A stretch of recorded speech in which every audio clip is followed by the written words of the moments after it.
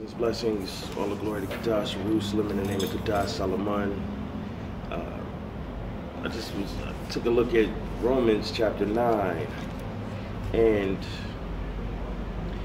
it's beautiful. It's a beautiful scripture. It really is. It's beautiful how this all uh, culminates or the misinterpretations elucidated. Um, and you know, when I think about the power of R712, the elucidation sets us free. Um, as we explain the truth to the humans or to the, the people throughout Earth and beyond, we become free. We, we break the cords, we break the chains. Um, in our act of obedience, we become more powerful as humans. And we reach this supernatural realm eventually understanding that perfection is possible. Romans chapter 9, verse 13, and it says, As it is written, Jacob have I loved, but Esau have I hated. But Esau have I hated.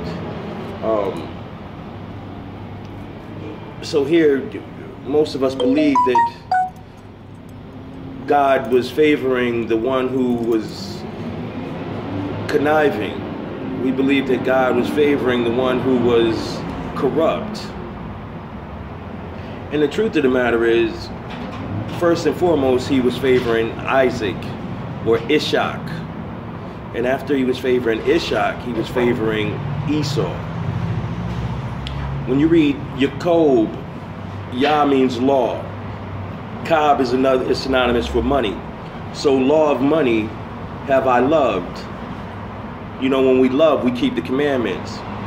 In keeping the commandments, we correct those who don't follow the commandments. So, law of money have I corrected. And Esau, and, and E, E means God or Jerusalem. And Jerusalem, separation, law of peace or love of money, separation, have I hated. So he hated the separation between love and money. And because he was obedient, because Esau um, hated these things, he kept the promise of Ishak.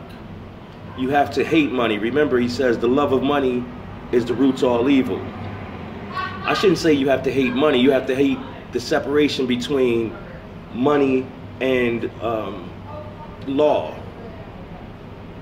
You want them to be united. In other words, to make it easy, instead of all this cheating going on, as Egypt got cheated, as Esau got cheated, it would be fair and square.